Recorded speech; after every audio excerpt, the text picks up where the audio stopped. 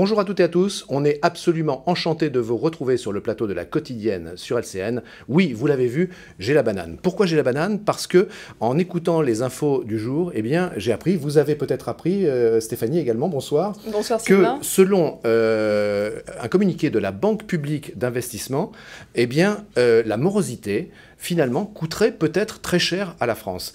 Et les chiffres qui sont avancés, on pourra en parler d'ailleurs, euh, Bruno Berteuil, nous donner votre avis. Bonsoir. Bonsoir. bonsoir. Euh, et euh, sur ce que vous en pensez, coûterait à la France cette sinistrose, cette morosité, l'état finalement un peu dépressif dans lequel on se trouve de plus en plus, à peu près, écoutez bien, 20 milliards d'euros, à peu près rapporté au nombre de Français, à peu près 300 euros euh, par foyer. Euh, et donc la BPI, la très sérieuse banque d'investissement, hein, on peut le dire, nous dit, eh bien, essayons de gagner en optimisme. Et moi, finalement, ça me plaît beaucoup parce que, pourquoi je démarre comme ça? Tenez, alors je vous donne à chacun une banane, et puis si vous êtes sympa, vous jouez le jeu avec moi. On va essayer de faire un plateau souriant. On met tous la banane. Merci beaucoup, Exactement, messieurs. On a tous la banane, c'est très sympa. Et pourquoi? Simplement parce que euh, ben, ça fait un écho à ce qu'on essaie de faire ici chaque jour pour vous depuis maintenant un petit mois dans la quotidienne sur LCN. On essaie de vous donner de l'info, euh, de vous apprendre des choses, de vous distraire, de vous divertir. Ça ne veut pas dire qu'on met tout euh, à l'eau de rose, bien évidemment. On ne nie pas les difficultés, on ne nie pas non plus euh, qu'un certain nombre de points sont négatifs, mais on en parle et on essaie le plus possible de les mettre en perspective de manière la plus optimiste possible. Voilà, et c'est peut-être pour cela que vous aimez de plus en plus nous regarder. Voilà, j'ai terminé avec mon optimisme et, et ma banane. En tout cas, ce soir, le plateau sera optimiste ou ne sera pas. On retrouve tout de suite Stéphanie pour le sommaire.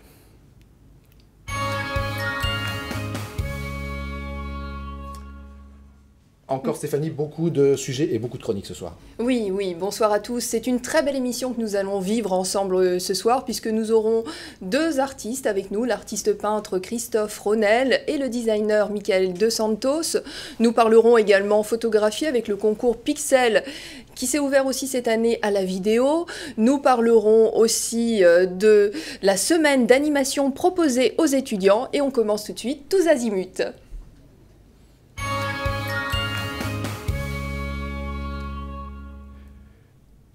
Alors j'ai le plaisir de recevoir Bruno Berteuil, bonsoir. Bonsoir. Alors vous êtes adjoint au maire de Rouen en charge de la vie étudiante. Oui, voilà. Est-ce que vous pouvez pour commencer nous rappeler le concept des azimuts? Les Azimuts, c'est une semaine d'accueil des étudiants que nous avons lancée en 2008. C'était une nouveauté euh, pour la ville de Rouen. L'idée était simple, hein, c'était de dire aux étudiants qui sont ici chez eux, qui doivent prendre possession de la ville. Euh, On fait ça au mois de novembre, c'est-à-dire qu'ils ont pris leur repère, ils sont rentrés en septembre.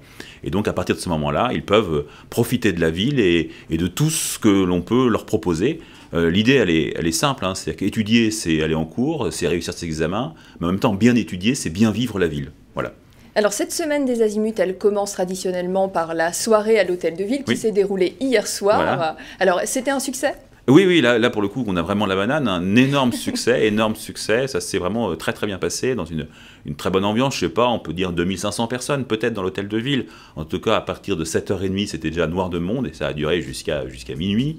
Euh, il y a eu des concerts. euh, une cinquantaine d'associations étudiantes ont travaillé avec nous sur la préparation de ce projet-là. En fait, l'idée, elle est simple. C'est qu'on donne aux étudiants l'hôtel de ville. On leur donne l'hôtel de ville, ils ont les salons d'hôtel de ville, et on organise avec eux 5 heures de festivités dans l'hôtel de ville. Alors des concerts, du théâtre, Voilà. et ça fait même des émules cette soirée. Oui, oui, oui, parce que en fait, c'était, euh, on n'est pas la première ville à organiser un moment d'accueil pour les étudiants, euh, mais on était les premiers à le faire de cette façon-là dans l'hôtel de ville. Et maintenant, on a des villes comme Rennes, qui pourtant ont une vraie antériorité sur l'accueil des étudiants, à, à faire aussi une soirée maintenant dans leur hôtel de ville.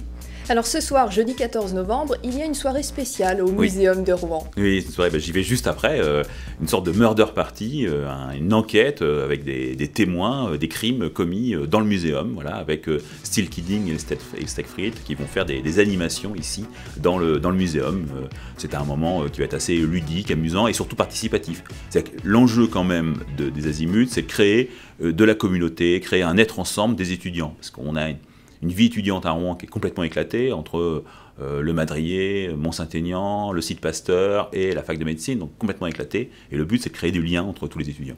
Alors on peut créer du lien aussi en allant voir euh, un concert, par exemple à la MJC euh, Rive Gauche. Oui, demain, l'oreille qui traîne. Alors ça, c'est une nouveauté des Azimuts cette année, euh, d'utiliser euh, l'oreille qui traîne. Euh, L'équipe de l'oreille qui traîne était vraiment volontaire, voulait faire quelque chose. On travaille déjà avec le calife et, et- et de montrer euh, ce qui se passe à l'oreille qui traîne avec euh, 30 minutes pour m'essayer, donc un, un- groupe de rock, euh, voilà, des musiques actuelles, et c'est important aussi.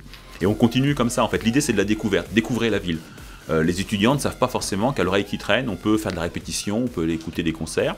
Euh, et c'est aussi l'optique de ce week-end, par exemple. Ce week-end, on va continuer avec une découverte de la ville.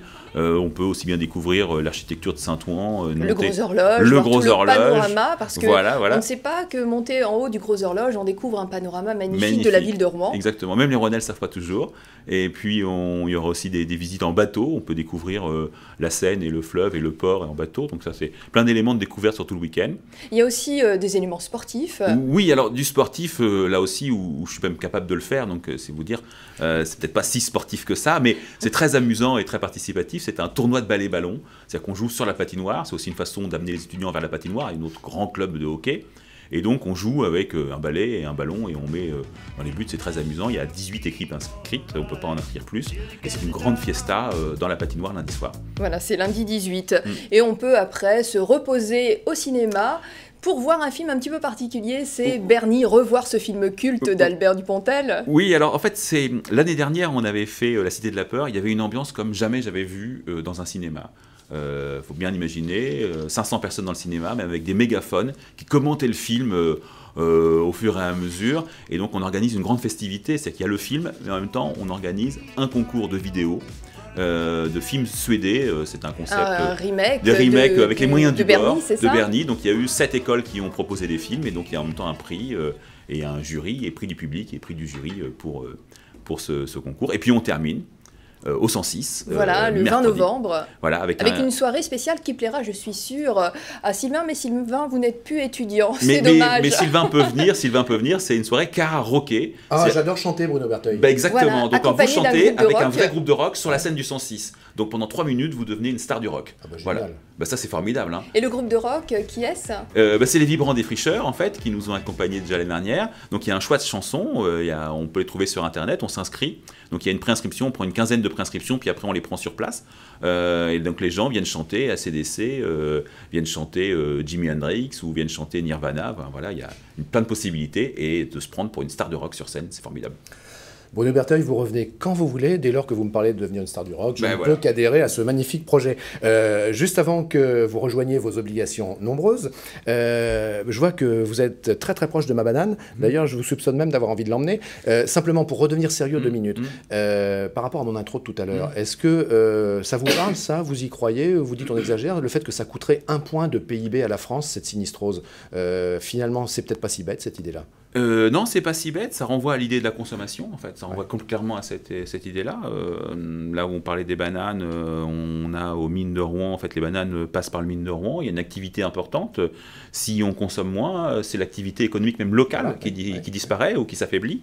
Et donc, ça joue aussi par ça. Et puis, c'est aussi l'envie d'être ensemble.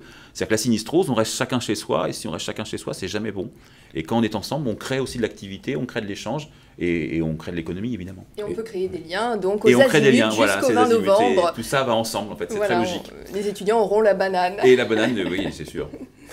Euh, Yves Rochette, euh, on va passer à vous euh, tout de suite. Vous êtes vice-président de la communauté des Portes de l'Heure. Mais vous avez vu, Bernard Barteuil, on est très très bien entouré ce soir, de très très belles couleurs. c'est le peintre Ronel. Restez bien avec nous, on va le retrouver tout à l'heure. C'est un peintre connu, coté et qui a de très belles histoires à raconter. Et donc, un peu dans cet esprit de cohérence de dessin, eh bien, on vous propose un jour en Seine-Maritime. Il s'agit de bande dessinée avec le dessinateur Steve Baker. Regardez.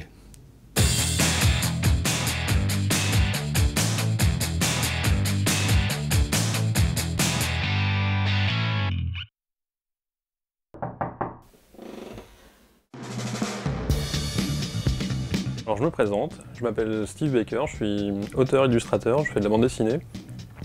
Donc je suis né à Rouen, je suis un, vrai Normand et je travaille actuellement, sur la, la, série La vie en slip, dont le tome 3 vient tout juste de sortir aux éditions Dupuis. Mon parcours, en fait, c'est... Euh, bah, j'ai passé un concours à l'Institut Saint-Luc, euh, école de bande dessinée. J'ai passé les trois années là-bas. Quand je suis sorti de l'école, j'ai créé ma propre série que j'ai présentée à PIF, qui l'a pris. Donc ça s'appelait Jean-Paul Fart et ses amis à l'époque. Finalement, ça a intéressé aussi Spirou, et c'est comme ça que la série est née, euh, La vie en slip. C'est un humour plutôt absurde. On le trouve un peu trash, même si je, je montre jamais les choses. Je trouve que la suggestion est plutôt plus forte que la monstration en fait. J'ai une pratique plutôt encore assez traditionnelle, même si je ne touche plus un crayon ni un bout de papier. Je fais toujours un crayonné quand même sur ma tablette numérique avec un écran intégré, donc je dessine directement sur l'écran. C'est un côté assez, euh, assez similaire en fait du dessin traditionnel. Et donc bah, je fais quand même un crayonné que j'encre euh, aussi, comme je pouvais le faire avec ma plume avant, sauf que là bah, pareil c'est numérique et puis après je mets en couleur.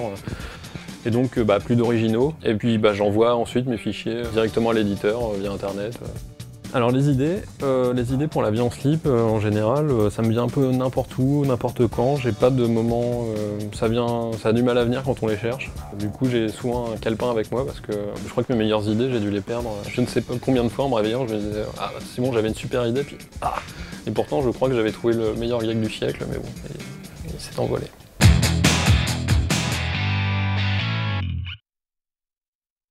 Non, non, non, vous ne rêvez pas, mais pas du tout, vous n'êtes pas dans une galerie de peinture, ou plutôt si, finalement, vous êtes dans un studio de télévision qui s'est transformé en galerie de peinture avec de superbes toiles du peintre Ronel qu'on va retrouver tout à l'heure. Euh, pendant la diffusion du sujet, Bruno Berteuil, vous nous disiez, vous nous confiez que vous aimez, beaucoup Steve Baker, que, ah. et vous trouvez qu'il n'est pas assez mis en avant? Ah, vraiment, vraiment, je trouve que c'est un grand auteur. Euh, je le lis chaque semaine euh, dans Spirou, voilà, je lis Spirou. Bah, c'est bien. À mon âge, je continue. Bah, c'est très bien, c'est très très bien. j'ai toujours un doute, moi, sur les gens qui me disent toujours, plus ils ont de plus ils me disent non, non, mais vous savez, moi je lis que des essais philosophiques, des choses comme ça, on en parlait hier. J'ai toujours un doute et j'aime bien les hommes qui me mm. disent je lis de la BD. Voilà, je Spirou, on est abonné à Spirou à la maison. Bah, bah, écoutez, bravo, ça ne peut que vous être profitable. Stéphanie, on passe au sujet suivant, comme toujours dans la quotidienne. Ça va vite, ça défile et ça change. Et je vous laisse représenter bien sûr notre invité suivant. Alors nous avons le plaisir de recevoir Yves Rochette. Vous êtes vice-président chargé de l'aménagement du territoire et du développement économique de la CAP. Alors est-ce que vous pouvez déjà nous dire ce que c'est que la CAP? Oui, bien sûr. La CAP, c'est une communauté d'agglomération donc euh, autour de Vernon, donc où Vernon est également Passy-sur-Eure, en vallée d'Eure. C'est 41 communes, c'est 60 000 habitants, et Vernon est donc la, capitale donc de la CAP avec ses 25 000 habitants et Saint-Marcel 5 000 habitants, donc juste à côté. Quoi. Alors aujourd'hui s'est tenu le salon d'affaires de l'heure. C'est un salon qui s'est tenu au manoir de la Chapelle Réanville. Quelles sont les finalités de ce salon? Je crois qu'on parlait tout à l'heure de sinistrose, et c'est vrai que dans une période qui est quand même très difficile, je pense que les chefs d'entreprise n'ont pas envie de rester dans leur coin. Ils ont envie, au contraire, de se rencontrer et de dire euh, comment essayer de se tirer d'affaires, parce que c'est quand même un petit peu difficile actuellement dans beaucoup de secteurs. Et je crois qu'à partir de là, donc ce salon d'affaires, c'est le troisième salon d'affaires qui se passe. Il y avait environ une centaine d'exposants. Ce sont des chefs d'entreprise qui viennent, qui exposent, qui disent ce qu'ils font, et puis des invitations qui sont lancées euh, un petit peu partout. C'est vraiment pour faire des affaires y a environ 500 personnes qui sont venues. Donc ce sont des échanges de cartes de visite, des prises de rendez-vous, de façon à créer malgré tout des affaires. même si c'est difficile, je crois qu'il ne faut surtout pas rester dans son coin, mais le fait de se confronter à d'autres collègues qui ont peut-être les mêmes préoccupations que, que, vous, que les uns les autres, ça permet, euh, je dirais peut-être de passer le cap et de voir venir un petit peu plus loin. Et ça a été aussi l'occasion, ce salon, pour euh, euh, lancer le guide d'accueil du territoire. Alors mm. qu'est-ce que c'est que ce guide? En fait, on, on fête cette année les 10 de la CAP. C'est une jeune communauté d'agglo, je le disais, qui a été créée en 2003. Et euh, à partir de là, on a voulu créer un événement euh, un petit peu particulier, et entre autres, dans le monde économique, un guide d'accueil. C'est vrai que le territoire de la CAP, est sur l'axe Seine, on est en plein dans l'axe Seine, avec d'un côté, euh, euh, on a donc la, Seine, bien sûr, la vallée d'Eure, mais également l'autoroute euh, qui passe, l'autoroute A13. Également, on a la voie Paris-Cherbourg, en fait. Mais donc, c'est un territoire qui est traversé, où les gens ne s'arrêtent peut-être pas obligatoirement. Donc, en fait, l'idée derrière ça, on a d'un côté, bien sûr, la région rouennaise, qui est une région importante. On a également Paris, donc aux portes de la, communauté d'agglo, donc de l'Eure. Et à partir de là, on s'est dit, il faut qu'on arrive à créer, à faire mieux connaître notre territoire. Donc, à la fois pour les chefs d'entreprise, mais aussi à la fois pour les talents que l'on veut faire venir dans ces entreprises et pouvoir les garder. Donc ce guide est le résultat d'un travail qui a été fait donc à l'aide de fiches ce sont des fiches. C'est ce que je montrais effectivement à la caméra. Ce sont des, c'est très très exploitable. Ce sont des fiches euh, très lisibles et qui sont consultables euh, effectivement très facilement. J'essaie de faire un peu comme Draco, notre magicien, qui fait des choses fantastiques avec des jeux de cartes. Alors j'essaie de m'inspirer, mais c'est pas facile. C'est un métier hein, quand même. Où est-ce qu'on peut trouver le guide, euh, Yves ah, Rochette C'est un guide qui a été édité à 7500 exemplaires. Donc en fait, il va être distribué dans tous les salons, salons nationaux également, parce que on se déplace également pour faire connaître le territoire, mais également chez l'ensemble des, chefs d'entreprise donc qui ont participé à ce salon, également dans les 41 mairies, parce que quand un nouvel habitant arrive, eh bien lui dire euh, tout simplement pour ouvrir un compteur électrique, un compteur de gaz, où s'adresser, on ne connaît pas le territoire quand on arrive. Donc c'est vraiment quelque chose de pratique, de fonctionnel, à la fois, euh, je disais, chef d'entreprise, mais aussi chef d'entreprise, c'est aussi un consommateur et qui a besoin aussi de pouvoir se loger, euh, de pouvoir se divertir. Et donc, vous trouverez toutes ces informations dans ce guide. Ça existe, euh, je pense, évidemment, Bruno Berteuil, au moins les guides d'accueil des nouveaux habitants, je pense à Rouen. Oui, et puis l'ADR fait quelque chose à peu près équivalent sur l'accueil. l'association de l'Agence de, développement, économique de l'agglomération rouennaise. Voilà, c'est ça. Et qui, effectivement, a des documents de la sorte pour les nouveaux chefs d'entreprise qui arrivent. Et puis vous, en tout cas, vous vous chargez dans les communes comme Rouen de l'accueil des nouveaux habitants, comme je le disais à l'instant, bien évidemment. Yves Rochette, un dernier mot peut-être pour conclure? Oui, je voulais conclure que ce travail, c'est un travail de partenariat, puisqu'il a été fait, donc je disais, avec la CAP, donc c'est un partenariat public-privé, donc avec la communauté d'agglomération, mais également euh, avec le GIR, le groupement euh, interprofessionnel de la région de Vernon.